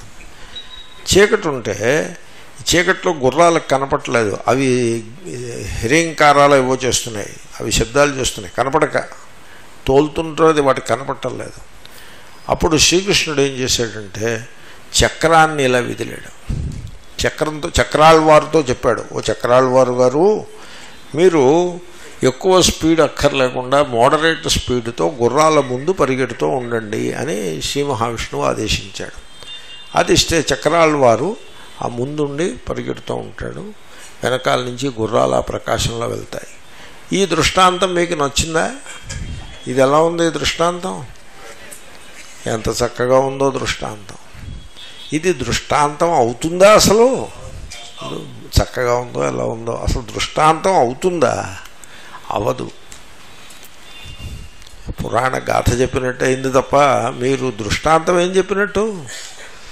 దృష్టాంతం ఏమిటో చెప్తా చూడండి. స్త్రీ పురుషులు కౌగలించుకున్నారు. బాహ్యంగా దేహాల్లో ఏకత్వం ఎలాగూ కుదరదు. భావాత్మకమైన ఏకత్వం వచ్చేసింది. వచ్చేసినప్పుడు వీళ్ళ చుట్టూ యాభై మంది ఉన్నారు. వాళ్ళు ఎవళ్ళు వీళ్ళకి కనపడను కూడా కనపడరు. చుట్టూ యాభై మంది ఉన్నా వీళ్ళకి కన వీళ్ళిద్దరికీ కనపడరు. ఎందువల్ల? ఎందువల్ల తెలుసిన? ఏకత్వం అయిపోయింది. అక్కడ చూచేవాడు చూడబడేది అనే డివిజన్ లేకుండా ఏకత్వం వచ్చేసింది. ఏకత్వం వచ్చిన చోట కాగ్నిషన్ ఉండదు ఇంకా. ఎందుకంటే కాగ్నిషన్లో ద్విత్వం ఉండాలి. చూచేవాడు చూడబడేది అనే ద్విత్వం ఉండాలి. అంచేత నేను పలుమార్లు చెప్పి ఉన్నాను అయంఘట అనే జ్ఞానం కలగాలంటే లోపల ఒక సెల్ఫ్ కాన్షియస్ పర్సన్ ఉండి ఉండాలి. సెల్ఫ్ కాన్షియస్ పర్సన్ లేకుండా అయంఘట అనే జ్ఞానం కలగదు. అంచేతనే ఒక సెల్ఫ్ కాన్షియస్ ఈగోయిక్ అబ్జర్వర్ లేని అబ్జర్వేషన్లో నామరూపాలు ఉండవు. నామరూపములు ఉండవు. మనం చూడు let there be observation without you being the observer అని మీరు చెప్పారనుకోండి అప్పుడు అన్ని చుట్టూ ఉన్న వాటి యొక్క అవేర్నెస్ ఉంటుంది తప్ప వాటి యొక్క ఫలానా ఫలానా ఫలానా అనే విశేష జ్ఞానం కలగదు. అటువంటి విశేష జ్ఞానం కలగాలంటే లోపల ఒక పెరసన్ ఉండాలి. కాబట్టి ఆ స్త్రీ పుంషయో పరిష్వక్తయో ఆ చూచేవాడు చూడబడేది అనే డివిజన్ కొలాప్స్ అయిపోయి ఏకత్వం వచ్చేస్తుంది. అందుకోసం నపశ్యతి. వాడు ఏమీ తెలియకుండా ఉండిపోతాడు. కాబట్టి నపశ్యతికి హేతువు ఏకత్వం తప్ప ద్రష్టృ చైతన్యము లుప్తమైపోవట మాత్రము కాదు అని ఇంతకుముందు చెప్పడమైనది. ఆత్మస్వరూపాన్ని గురించి అదొకటి చెప్పాము. ఆత్మ స్వయం జ్యోతి అని కూడా చెప్పినాము. స్వయం జ్యోతి అంటే ఏమిటండి? స్వయం జ్యోతిష్వన్నామా చైతన్యాత్మస్వభావత. చూడండి ఇందాక చెప్పాను. ఇందాక చెప్పిందే చెప్తున్నా. శబ్దం మీకు తెలుస్తోంది రూపం తెలుస్తోంది రసం తెలుస్తోంది స్పర్శ తెలుస్తోంది గంధం తెలుస్తోంది వాటి అభావము తెలుస్తోంది మనస్సులో రాగము తెలుస్తోంది ద్వేషం తెలుస్తోంది సుఖం తెలుస్తోంది దుఃఖం తెలుస్తోంది మీకు. ఇప్పుడు మీరు చెప్పండి మీ స్వరూపం ఏమిటి? తెలివి మీ స్వరూపం. కదా? తెలివి మీ స్వరూపం. ఒకడు అన్నాడు నేను పొద్దున్న లేచి పళ్ళు తోముకుంటాను స్నానం చేస్తాను పూజ చేస్తాను ఉద్యోగం చేస్తాను భార్యని మార్కెట్కి తీసుకెళ్తాను ఒకప్పుడు ఆవిడని ప్రేమిస్తాను ఇంకొప్పుడు ఆవిడతో కలహిస్తాను పడుకుని నిద్రపోతాను అన్నాడు. ఇప్పుడు వాడి స్వరూపం ఎలా అనిపించింది మీకు? డూయింగ్ స్వరూపంలాగా కనపట్టలేదు వాడి స్వరూపం డూయింగ్ అని తెలియట్లేదు మీకు? అలా ఉంట అదే అజ్ఞానం. మీ స్వరూపం డూయింగ్ కాదు. మీ స్వరూపం నోయింగ్. ఓకే? అన్నీ జరిగేవేవో జరుగుతూ ఉంటాయి. కర్తృత్వం ఉంటే అలా తయారవుతుంది. నేనే కర్తను ఇవన్నీ నేనే చేసేస్తున్నానని పెట్టుకుంటే దట్ ఈస్ హౌ ఆ ఇగ్నోరెన్స్ అలా ఉంటుంది. కాబట్టి మీ స్వరూపం ఏమిటి? తెలివి. అంటే తెలివియే స్వరూపముగా ఉండుట. దాన్నే స్వయం జ్యోతిష్వము అని అంటారు. చైతన్యాత్మ స్వభావత. ఆత్మ అంటే తాను స్వభావ అంటే స్వరూపం. ఆ స్వరూపం ఏమిటి? చైతన్యము తెలివి. దాని పేరే స్వయం ప్రకాశము అంటారు. ఎందుకంటే ఏది తెలియాలన్నా తెలివిలో తెలుస్తాయి. కానీ తెలివి తెలియడానికి ఇతరము అక్కరలేదు. ఎందుకని? అది తెలివియే గనుక అదనమాట. ఎది అగ్నియుష్ణత్వాదివత్ చైతన్యాత్మస్వభావ ఆత్మా అని దృష్టాంతం. నిప్పు వేడిగా ఉంటుంది. అంటే అప్పుడప్పుడు వేడిగా ఉంటుందా? ఎప్పుడైనా ఒకసారి వేడిగా అప్పుడప్పుడు వేడిగా ఉండలేదు ఆల్వేస్ వేడిగా ఉంటుంది. అన్ని కాలములయందు వేడిగానే ఉంటుంది. అన్ని దేశములయందు వేడిగానే ఉంటుంది. కాబట్టి ఇప్పుడు ఏమని చెప్తారు? అగ్ని యొక్క స్వరూపము వేడి. మీరు ఎప్పుడూ తెలుసుకుంటూనే ఉంటారు. జాగ్రత్త అవస్థలో స్వప్నావస్థలో సుషుప్తిలో ఎప్పుడూ తెలుసుకుంటూనే ఉంటారు. కాబట్టి మీ స్వరూపమేమి తెలివి.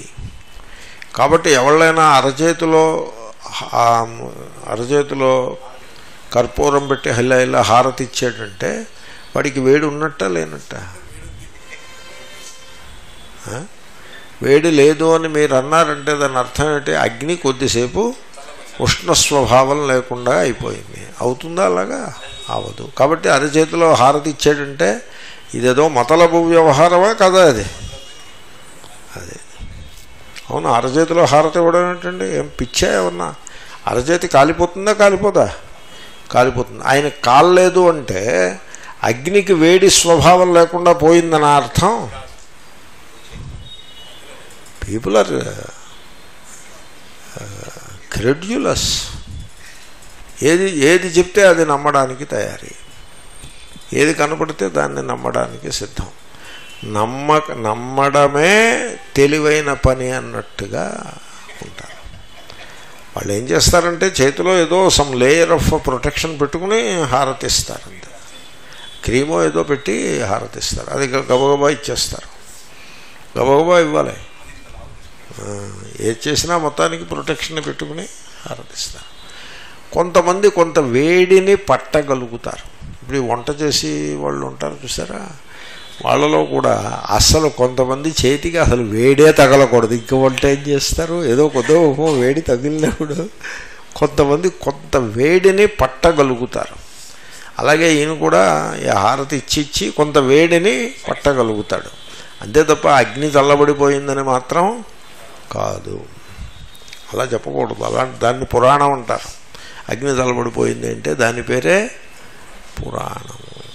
ఎక్కడైనా మీకు ప్రకృతి ధర్మానికి విరుద్ధంగా చెప్తే అది పురాణము. That is how it it has become very unfortunate శాస్త్రంలోకి వస్తే అగ్ని యొక్క వేడి స్వభా స్వరూపము సరిగ్గా అదేవిధంగా చైత మీ స్వరూపమేమి? చైతన్యము. అటువంటిప్పుడు సహా కథం ఏకత్వే అపి స్వభావం జహ్యాత్ నజానీయాత్ ఇప్పుడు ప్రశ్న పూర్వపక్షం. పూర్వపక్షం ఏంటంటే ఏమండి నా స్వరూపము తెలివి అయినప్పుడు చూచేవాడు చూడబడేది అనే రెండు ఉన్నప్పుడు నేను తెలివే. ఆ రెండు కొలాప్స్ అయిపోయి ఒక్కటి ఉన్నప్పుడు నేను తెలివే. నేను తెలివి అయితే రెండున్నప్పుడు తెలుస్తూ ఉండాలి రెండు లేకుండా ఒకటి ఉన్నప్పుడు కూడా తెలుస్తూ ఉండాలి. అంతే తప్ప తెలివి నా స్వరూపము. రెండు ఉన్నప్పుడు తెలుస్తూ ఉంటాను ఒకటి ఉన్నప్పుడు తెలుస్తూ ఉండను అన్నట్లయితే నా స్వరూపం తెలివెలా అవుతుంది? అని మళ్ళీ పూర్వపక్షం దాని మీద. చెప్పినా మళ్ళీ ఇంకో పూర్వపక్షం. కాబట్టి ఏకత్వే అపి ఒకటి అయిపోయినప్పుడు కూడా సహా ఆత్మ తన స్వరూపమైన తెలివిని ఎలా విడిచిపెడుతుంది? విడిచిపెట్టడానికి వీర్లేదు కానీ ఏకత్వం వచ్చినప్పుడు తెలియటలేదు అని మీరు అంటున్నారు అంటే తన స్వరూపాన్ని ఉల్లంఘించినట్లే అయినది. అది ఎలా కుదురుతుంది? అథ నజహాతి కథమిహ సుషుప్తేన పశ్యతి. అబ్బెబ్బే విడిచిపెట్టట్లేదండి. ఆత్మ తన చ- స్వరూపమైన చైతన్యమును తెలివిని ఎన్నడూ విడిచిపెట్టలేదండి అని మీరు చెప్పినట్లయితే మరి సుషుప్తి ఎందు ఎందుకు తెలియటలేదు? విడిచిపెట్టేస్తే స్వరూపం ఎలా అయింది తెలివి? ఏకత్వమైనప్పటికీ విడిచిపెట్టకూడదు. కానీ విడిచిపెట్టింది అంటే తెలివి స్వరూపం అవడానికి వీల్లేదు. అబ్బే విడిచిపెట్టదు అంటే సుషుప్తి ఎందు తెలియకుండా ఉండడానికి వీల్లేదు. విప్రతిషిద్ధమేతతు సిద్ధమేతత్ చైతన్యాత్మస్వభావ.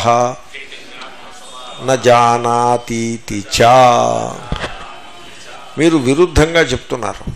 ఎలాగంటే ఆత్మస్వరూపము చైతన్యము అని ఓవైపు చెప్పి సుషుప్తిలో దేనిని తెలియటలేదు అని ఇంకోవైపు చెప్పారే. ఇది విరోధము. మీరు ఏకత్వం అనే ఒక ఆర్గ్యుమెంట్ పెట్టినా కూడా మాకది కన్విన్సింగ్గా లేదు.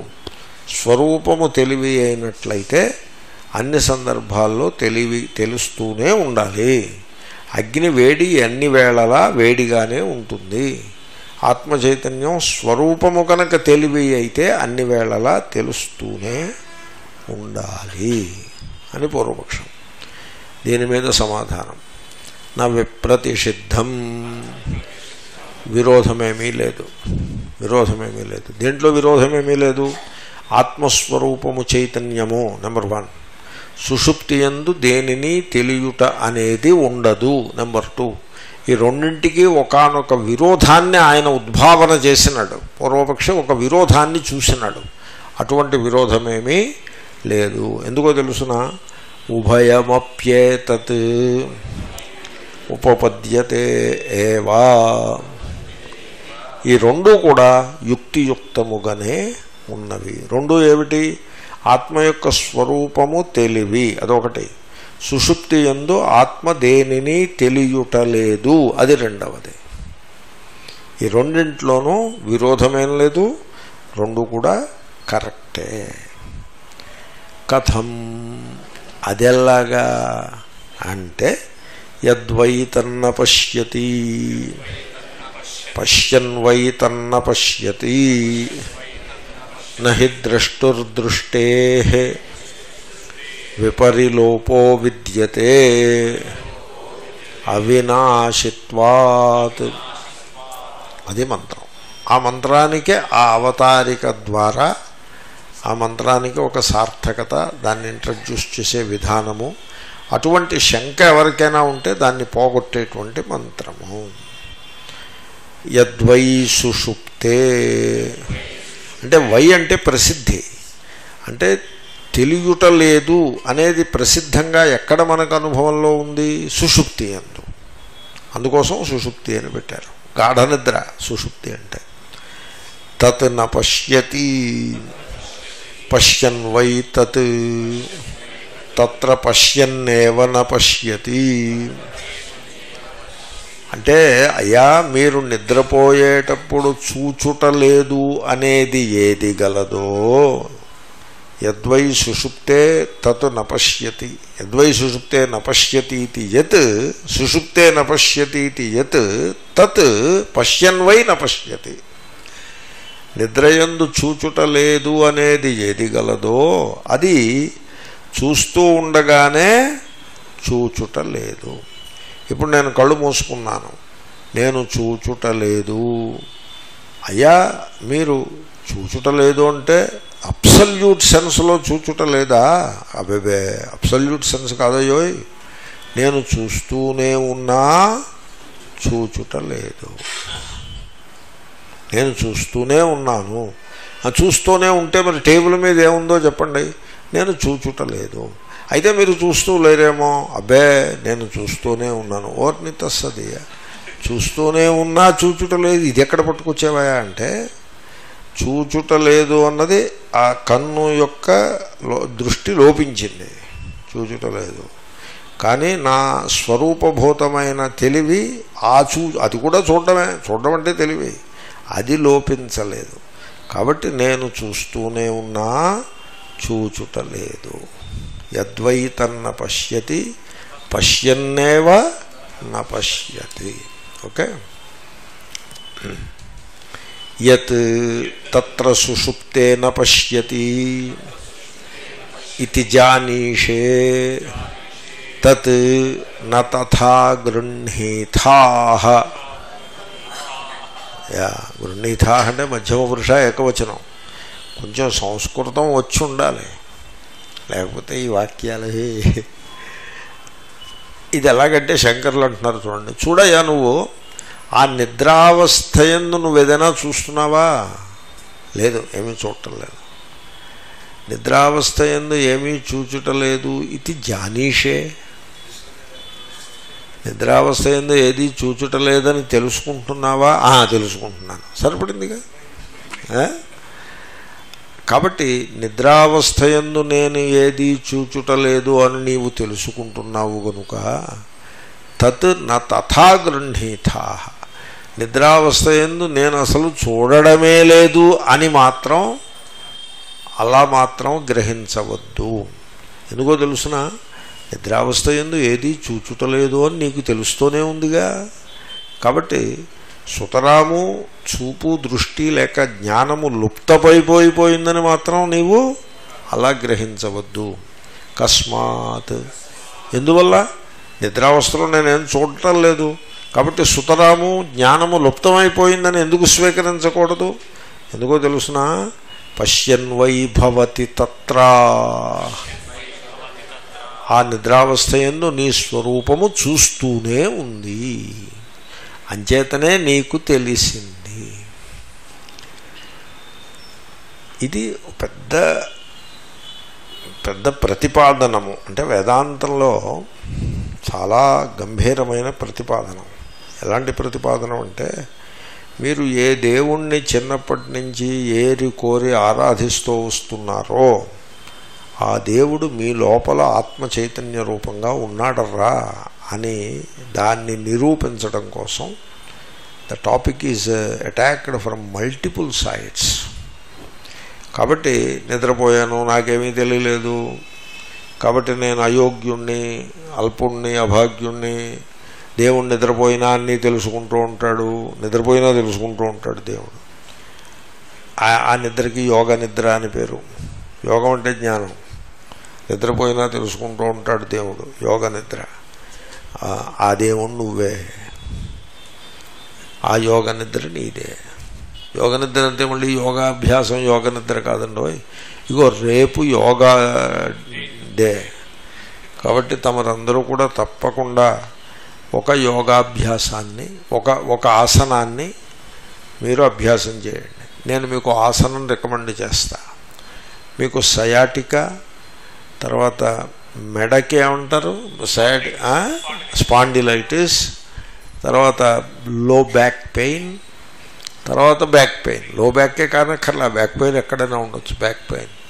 ఈ నాలుగు రకముల సమస్యలను పరిష్కారం చేయటం కోసం మీరు త్రికోణాసనాన్ని చేయండి. నిలబడి త్రికోణాసనం చేయండి. ఎంత చేతనైతే అంత చేయండి. మోకాలు వంచొద్దు అంటే వంచకూడదు. ఎంత మోకాలు వంచకుండగా ఎంత వంగగలిగితే అంతే. కాబట్టి త్రికోణాసనాన్ని మీరు అభ్యాసం చేసి అందరూ నేర్చుకోండి. పురుషులు స్త్రీలు కూడా త్రికోణాసనాన్ని నేను నేర్పితే బాగుండదు. నేను నేను నేర్పే ఇప్పుడు మీకు త్రికోణాసనం నేర్పాను అనుకోండి మిమ్మల్ని అందరినీ నిలబెట్టి. అది సందర్భంగా ఉండదు. ఎందుకంటే నా త్రికోణాసనం అంత పెర్ఫెక్ట్గా ఉండకపోవచ్చు. Because I have some shoulder problem left షోల్డర్కి ఏదో చిన్న ప్రాబ్లం ఉంది. దానికి నేను ఫిజియోథెరపీ అది చేయించాను. It takes some time to heal అనమాట ఏదో టెండర్ ఏదో తేడా వచ్చింది. అది హీల్ చేయడానికి టైం పడుతుంది. కాబట్టి నా stretching and lifting and bending కొంత స్లైట్లీ ఎఫెక్టెడ్ కాబట్టి నేను త్రికోణాసనం మీకు చూపిస్తే అది ఇన్స్పైరింగ్గా ఉండదు. కాబట్టి I'm not doing any such thing మీరు త్రికోణాసనం రామ్దేవ్ బాబా గారు ఆయన లేడి గెంతులు వేసినట్టుగా గెంతులు వేస్తున్నారు ఇప్పుడు కూడా. కాబట్టి ఆయనదో ఎవరిదో చూసి అయితే పుస్తకంలో బొమ్మైనా చూసి రేపే మొదలు పెట్టండి త్రికోణాసనం. పొద్దున్న కాఫీ తాగినా పర్వాలేదు. కాఫీ తాగే భాగ్యం మీకు ఉన్నట్లయితే తాగండి. You you have your coffee. త్రికోణాసనానికి coffee అడ్డు కాదు. కాబట్టి ఫస్ట్ తెలివిగా లేస్తూనే ఆ ఫస్ట్ ఫస్ట్ మిల్క్ అంటారు. ఆ పాలు ఫస్ట్ డికాక్షన్. అంటే first instalment of decoction together with first instalment of milk. That is the best possible coffee మీరు సరిగ్గా చేసుకోవడం జాతనైతే. So please have that coffee and then త్రికోణాసనం చేయండి. రేపు ప్రైమ్ మినిస్టర్ గారు చేస్తున్నారు.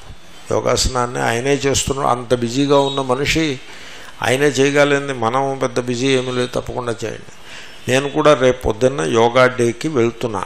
ఒక అతిథిగా ముఖ్య అతిథిగా వెళ్తున్నాను. శివానంద ఆశ్రమంలోనే నాకు ఆరు పావు టైం ఇచ్చారు వాళ్ళు. నేను ఐదున్నరకే లేచి నేను బయలుదేరి వెళ్ళి దాంట్లో కొద్దిసేపు ఉండి అక్కడ ఏదైనా నాలుగు మాటలు చెప్పాల్సి వస్తే చెప్పి వాళ్ళతో పాటుగా యోగా చేసి వస్తాను నేను కూడా. ఫర్ ఆల్ ఆఫ్ యూ మన ప్రైమ్ మినిస్టర్ గారు మొదలుపెట్టిన స్కీమ్కి మీ సపోర్ట్ని మీరు ఇవ్వగలరు. మంచిది. కాబట్టి కస్మాత్ పశ్యన్వై భవతే తత్ర. నేను నిద్రలో ఏమీ ఎరుగకుండా పడి ఉన్నాను అని నువ్వు అనుకోకురా నాన్న. నిద్రలో కూడా నీకు తెలుస్తూనే ఉంది. తెలియ ఘటపటాదులు తెలి ఘటపటాదులు లేవు కాబట్టి తెలియలేదు. ఉంటే ఏది ఉంటే అది తెలుస్తుంది. ఏది ఇప్పుడు చీకట్ల గదిలో నిలబడ్డారు. ఏమీ తెలియటలేదు. అంటే మీ చూపు లోపించిందని అర్థమా? కాదు. చూపు లోపించలేదు. సపోజ్ మీకు చూపు లోపించిందనుకోండి చీకటి గదిలో ఉన్నాను ఏమీ తెలియటలేదు అని తెలుస్తుందా? తెలియదు. చీకటి గదిలో ఉన్నాను ఏమీ తెలియట్లేదు అని తెలుస్తోంది కాబట్టి మీకు చూపు లోపించలేదు. దీని మీద స్వామి రామతీర్థం కథ చెప్పారు. Simple story. కానీ ఆయన ఆ సుషుప్తిని చాలా బాగా నిరూపణ చేస్తూ ఇక్కడ చేసినట్టుగానే చెప్పారు. ఒక మర్డర్ ఒకటి జరిగింది.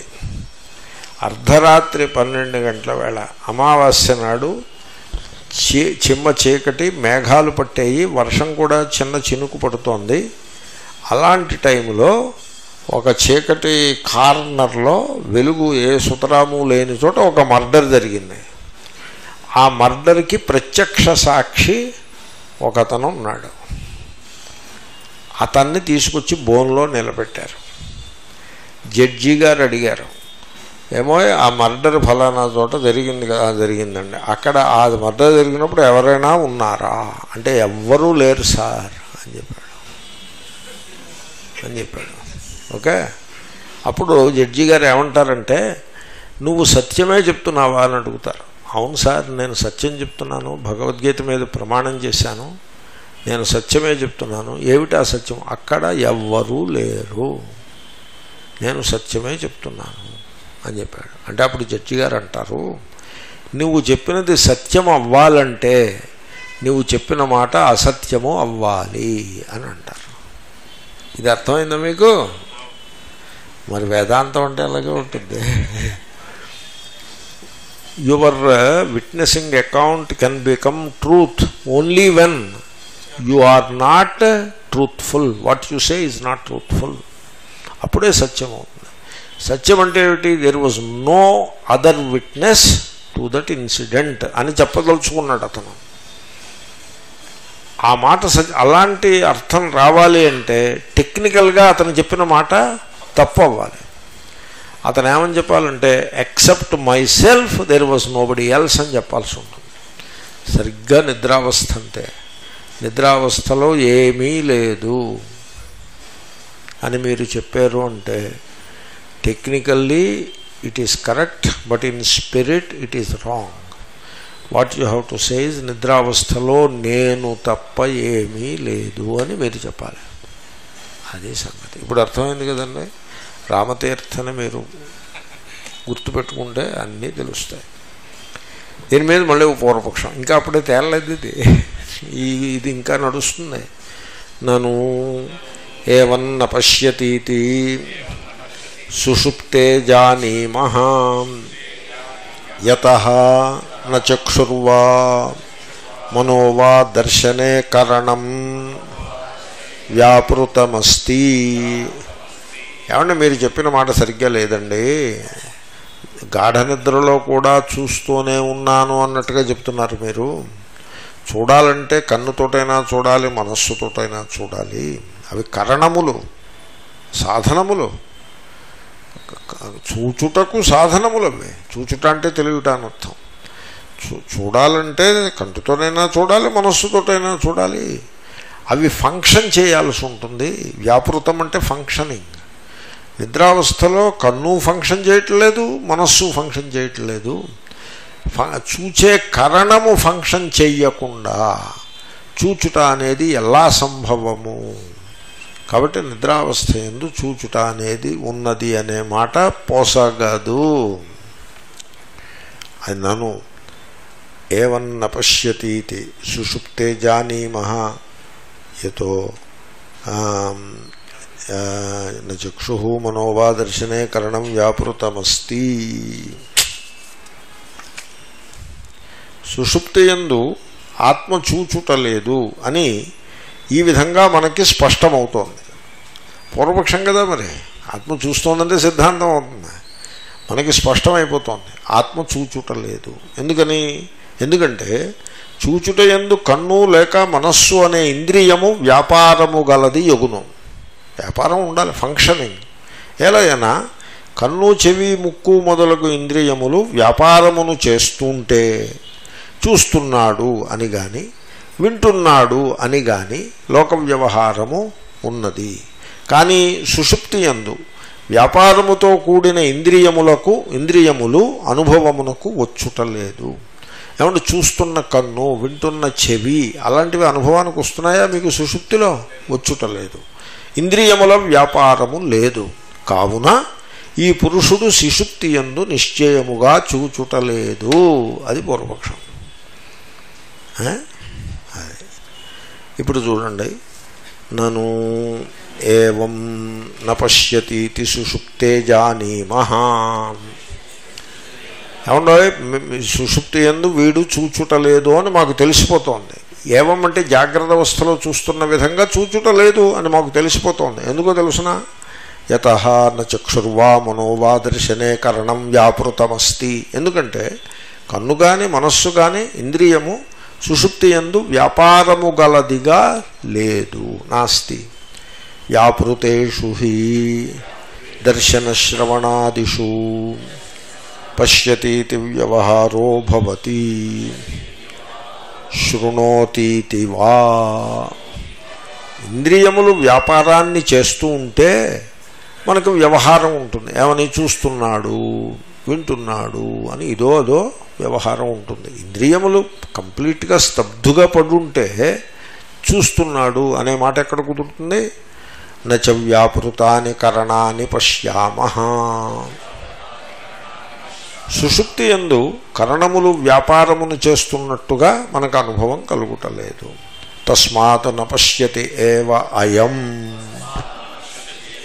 కాబట్టి ఆత్మ సుషుప్తి ఎందు చూచుటనే లేదు. అంటే చూపు లుప్తమైపోయినది. అంటే ఆత్మయందు చూపు లుప్తమైందంటే అర్థం ఏంటో తెలుసిన? ఆత్మస్వరూపము తెలివే అని చెప్పడానికి వీల్లేదు ఇంకా.